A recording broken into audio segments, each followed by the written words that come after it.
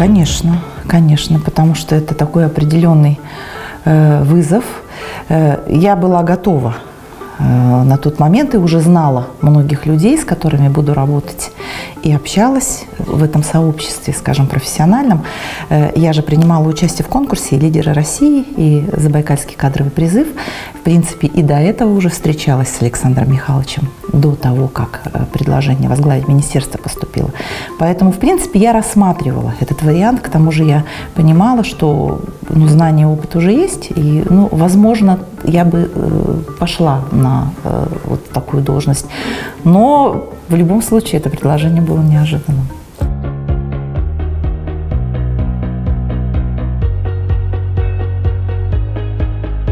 Я познакомилась с коллективом, э, меня представили, я познакомилась с коллективом, рассказала о себе, посмотрела на свой будущий Э, кадровый состав на свою команду. Ну и, соответственно, познакомилась с какими-то определенными нормативными документами основными.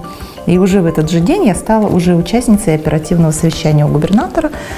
Ну и вот так дальше закрутилась. Для меня э, культура – это прежде всего культурная политика – и вот каким образом я буду выстраивать эту культурную политику, потому что все равно же я же уже проблемы-то понимала, а все движение вперед, оно начинается с проблем. Когда ты видишь определенные проблемы, ты видишь направление, по которым ты пойдешь дальше. Ну и, соответственно, э, конечно, э, какие-то моменты уже в голове были, они и сейчас у меня еще есть, и они будут, я надеюсь, и они только прирастают, потому что чем больше я получаю знаний, чем больше я получаю опыта именно в этой сфере деятельности, тем больше у меня возникает предложений каких-то в голове, ну и, соответственно, выстраиваю их на команду.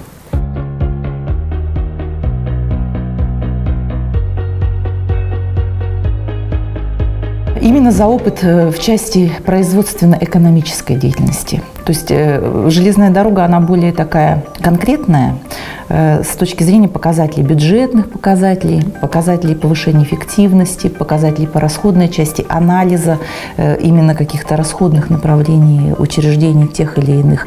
То есть возможность именно анализировать и вырабатывать э, мероприятия повышения той или иной эффективности, как с точки зрения повышения доходной части, так с точки зрения снижения расходов и на то, чтобы выйти на, на, на те показатели, которые нам нужны. Вот именно вот в этом направлении, конечно, больше всего.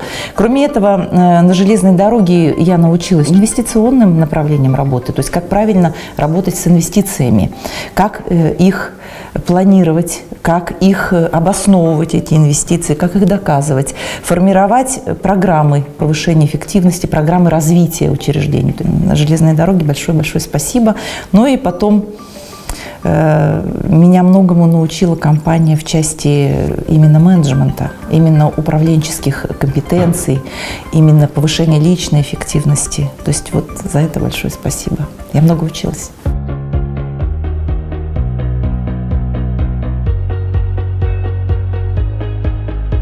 Конечно, однозначно люди везде, и вне зависимости от того, какая у тебя сфера, если ты знаешь азы и основы определенного э, управления, планирования, целеполагания, то есть, конечно, это везде можно применять.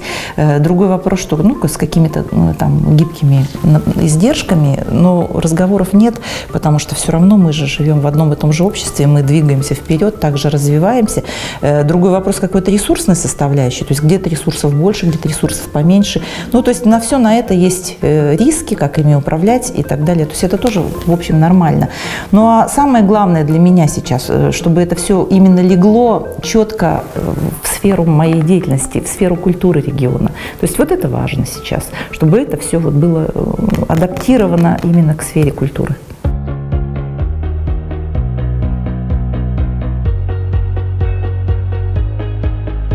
Я из творческой семьи, это понятно. Мой отец профессиональный музыкант, художник. Э, мама у меня, правда, учительница, но тем не менее. Но они оба педагоги, скажем, только отец по музыке и э, изобразительному искусству, мама математик, физик. Но выросла я все равно в учительской семье. Э, однозначно была постоянно вовлечена в творческую деятельность. Отец как, как с рождения там и до юности. Школа у меня, в которой я училась. Вообще мне повезло с учителями вообще изначально. Школа, в которой я училась, она была первой лидером таким в авангарде всех смотров художественной самодеятельности. Поэтому я, естественно, как и в пионерии, так и в комсомоле я его застала. Как раз э, вот, на мне как раз завершился комсомол, когда я выпускалась уже из средней школы.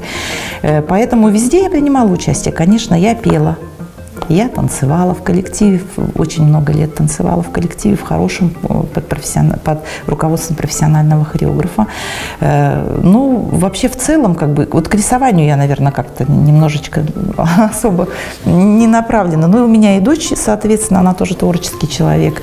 Ну, всегда в творчестве была, занималась. Я даже на гитаре играю, ну, вот как бы дома для себя, не, не профессионально, но вот у меня есть такое немножко. Ой, когда у меня выпадает свободная минутка от работы, я ее посвящаю чтению, это однозначно. Ну, то есть, э, потому что это, это, это надо, мне я это жду прямо вообще как воздух. Э, и еще у меня ведь есть внучка маленькая, поэтому я э, любую минутку посвящаю семье. Однозначно это муж, дочь и внучка. Ну, то есть вот моя семья, мама, у меня брат, сестра. Ну, то есть как бы вот стараюсь все равно как-то вот побыть с семьей, и даже в выходной день мы стараемся куда-то выехать на природу, допустим, всей семьей, чтобы ребятишки побегали, мы как-то там подышали, пообщались, потому что воздуха хочется, свежего воздуха.